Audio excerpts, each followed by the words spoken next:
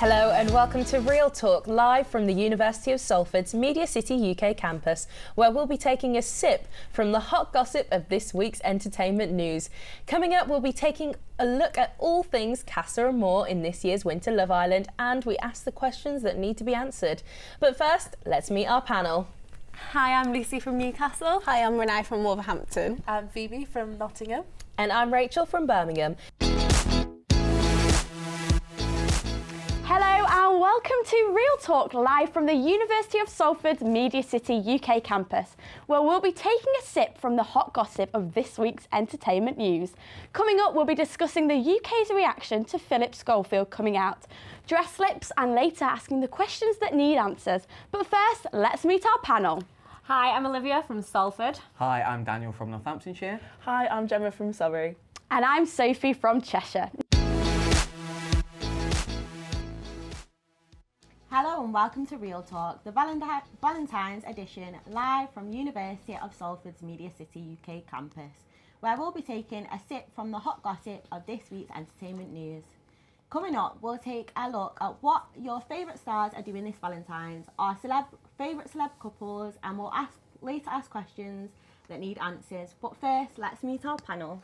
Hi, I'm Jenny from York. I'm Luke from Wigan. Hi, I'm Nicole from Ludlow.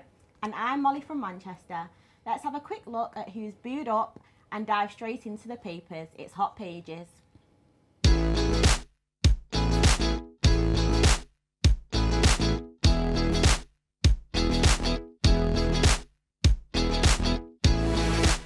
today I took a look at a small article in Closer magazine of our reality queen Gemma Collins. The GC is wearing a wedding dress, but unfortunately it's just all for her new show as she's not actually engaged. Panel, do we want Gemma to find love? And do we want her to find it with Arg or someone better? What do we think? Of course she should find love. In today's Hot Pages, I looked at OK magazine, which featured Kim Kardashian asking the question whether celebrities should be ashamed of being rich. So, guys, what do you think of this? Should they be shamed? It's a hard one, isn't it? Because we've used Kim as an example and she's got a massive empire and there's a lot of people wondering why she was famous, etc. However, you can't deny she's a businesswoman and shouldn't we see her wealth and maybe aspire to be like her in a business savvy sense? So mm-hmm. maybe it could be a positive in that aspect. I looked at an article in Closer magazine on reality star Lauren Goodger battling trolls. The mag states that her friends have said trolls are ruining her self esteem. The question I want to pose to the panel is do you think social media is doing enough at tackling trolls and what more can be done? What do you think, guys? No. No, yeah, exactly. Social media is No. not doing enough at all. I think, if anything, it's making the situation worse, isn't a it? Yeah. worse. Yeah, um, I've seen celebs now, if you go on celebs' Instagram pages, they often turn the comments off. Right. So Yeah. nobody can even comment or they have filtered comments, so it's only like specific people that they know that Mm-hmm. can comment on the photos because it's actually got that bad that Like, yeah, they get they've so removed much them rubbish. completely. Yeah, it's Yeah. horrible. And if you So, report something on like Twitter or something, you get something back that like 24 hours later. It's like, yeah, we decided not to delete that or decided not to remove them. And you're like, why? Who Like, is judging this, Yeah, literally? it's like, it doesn't break our guidelines. You're like, definitely does. Like, Like, yeah, you, you report a tweet and then it's like, oh, sorry, no, it's not offensive enough. It's like, hmm, Yeah. I thought it was.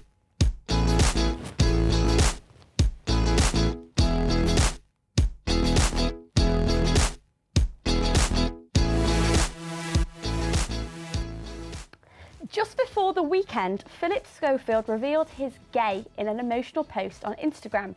This was then followed by an interview with This Morning co star Holly Willoughby. He admitted he knew he was gay when he got married in 1993. His wife Stephanie, of 27 years, says she will still support him. So, guys, what are your thoughts on Schofield coming out gay? Well, Where do we start? good, no, good on him for coming out. Hmm. Obviously, it's an amazing thing. It's very brave to do. But the fact that he knew he was gay in 1993 Yeah. Yeah. and still got married, It's- uh, it's a bit like hmm. it's on the wife side. I feel a bit Yeah. sorry for her because that's hmm. that's a big chunk of her life when he knew he was gay all along. Yeah. Did she know? Yeah. That's the Probably. Well, he did admit to um, an interview with The Sun that he was quite naive to it all back then and he didn't know whether he was bi and he, he saw like a therapist because he was trying to get over his emotions and he thought he was just confused. So Yeah. I actually kind of feel quite sorry for him that it's taken him this long to kind of make it public. Do you know what I mean? Yeah. Yeah. Do we think Valentine's is overrated? No. Like this Not at tweet. All. So it says Valentine's Day is the most overrated day of the year, and I'm in a relationship. Imagine getting a £500 hotel room and paying £200 for a swanky dinner. When you can sit in your pajamas on the sofa with your boyfriend with a huge Chinese for like £30 and a film on Netflix. I mean, I wouldn't complain at either. to be Yeah, neither. If you have the money, I definitely think it's.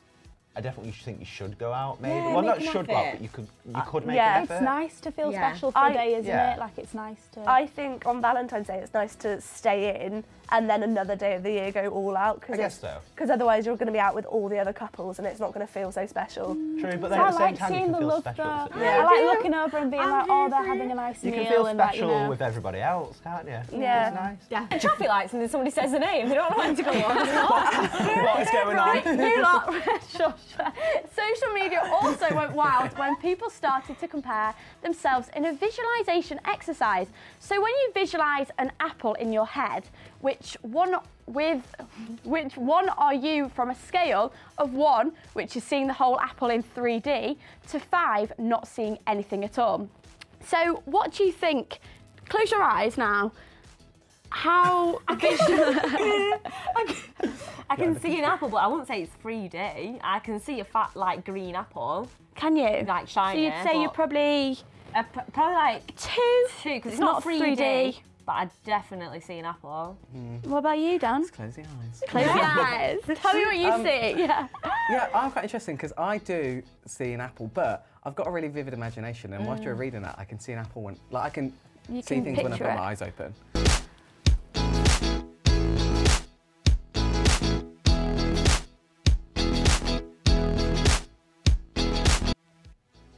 So, as a panel, we all have a heart and a broken heart. We're going to be shown a couple of celeb relationships, and we need to decide whether it's love or a hot mess. Just to note, we haven't seen any of these couples, so it should be really interesting. Um, let's take a look at the first one. Who do we have? Oh, Oh. I, I, yeah. Yeah, It's a big love from me. Yeah. No, I've got to disagree. definitely love. Why? 100% love. I Why are you d- I disagreeing? don't, I'll be honest, I don't really know. I'm not into rap that much, so I couldn't really tell who this person is, not gonna lie. Yeah. Um, but they just seem dead different. Like, I presume that's a Kardashian. Is it? That's yeah. Kylie. Yeah. They just, I don't know, she just seems like a mod. Like, it's not obvious, I don't know. Just, they just seem different. Is it? The, have you heard any rumours about cheating scandals Yeah, or I've- anything like that? what is it? There's, there's been cheating. Yeah, Yeah. There has been Travis has rumours, like alleged cheating on Kylie. Oh, Yeah. um, I Yeah. then. That makes it a bit worse for me. I still stand them personally. I think they work really well together. They've got a little Stormi now who's Yeah, so exactly. cute. Exactly, yeah. How long were they and they're both really relaxed and like chill people. Yeah, I hope they, they, they still they're still friends. So maybe there's a chance. I hope they get back together. Mm. Oh yeah. Oh, Uh, so Rob Rob Kardashian, uh, Rob Kardashian and Blac Chyna. very, very, very toxic relationship. Yeah, I watched was- this all play out on TV, Yeah. and yeah, it was horrible. It seems like they've both got um, their own personal issues that really got Yeah. involved with the relationship themselves. Final one. Oh, I'm so very. Me. Oh, it's you! I thought it was Ariana Grande. Oh, it was Anna from Love Actually. Yeah. Anna, Me Anna and my Bakili. man love. I mean, you guys look really cute. know. I, I don't know you guys' like personalities Love enough, him. so Oh, you guys look cute together though. Look at his little face. That is so funny. Oh, you look so nice. Like your makeup is so nice in that. Yeah. Thank you. Wow. Enough gossip oh. for one day. We've spoke about a lot, haven't we? So join us next week with a whole new panel and for some more hot tea. That's all for now.